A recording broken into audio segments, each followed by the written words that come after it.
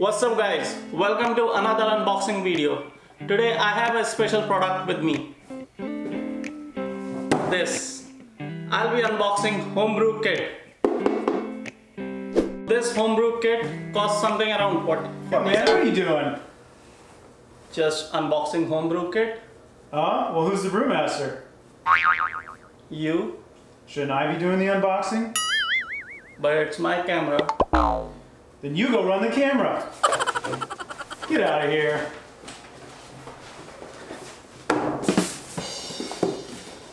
What's up guys?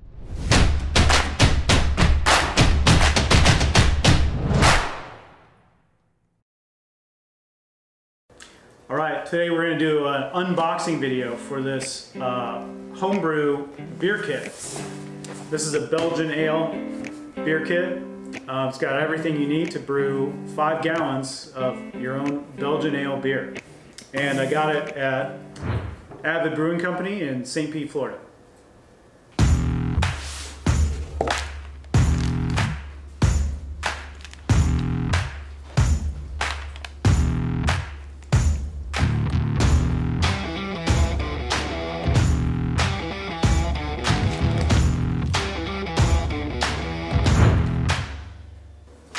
Okay, so we've unboxed our uh, Belgian ale uh, brewing kit from Avid Brewing Company in St. Pete, Florida.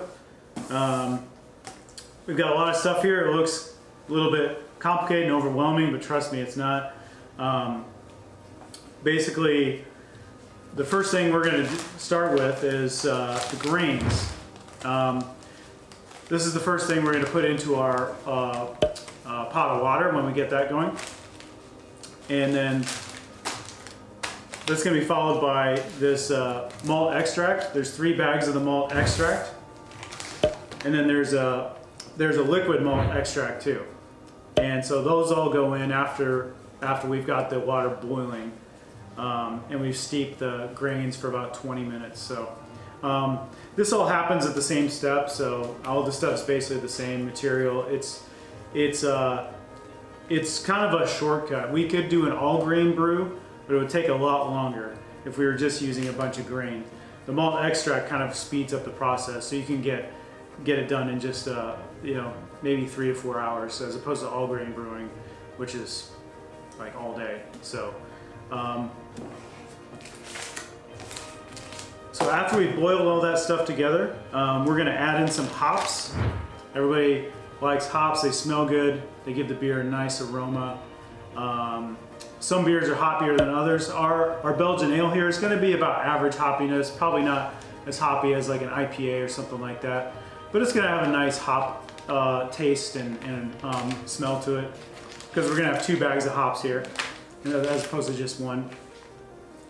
And then finally, after we get the hops, the grain, the malt extract, and we've cooled it down, we're gonna put in the yeast. So the yeast is kind of the kind of the magic sauce to the whole thing. The yeast uh, is a living organism, uh, and it basically eats all of the sugars uh, created by the brewing process. You know, the, with the grains and the malt extract, um, and it ferments the beer and turns it into what we know as beer. Um, it's uh, yeah, it's like any any beverage or food product that uses a, uses a fermentation pro, uh, process. You know, they all use yeast. Bread uses yeast, all those things. So that's your four ingredients. You got your grain, you got your malt extract, you got your hops, you got your yeast.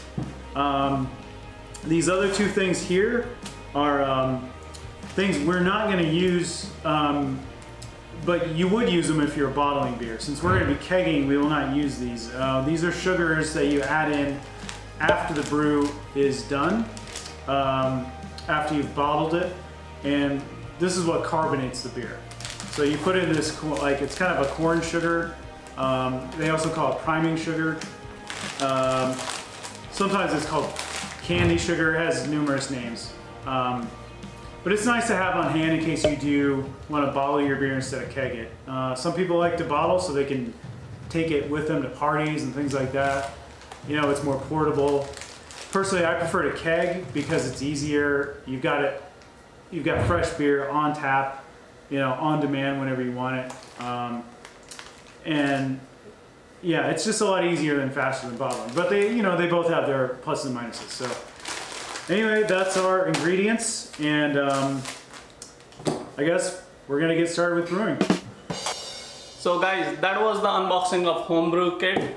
We have another video where we have used this to brew beer, where we have explained all the steps you need to do in order to brew beer at your home. So please make sure to check out that video. Don't forget to like this video and subscribe to the channel.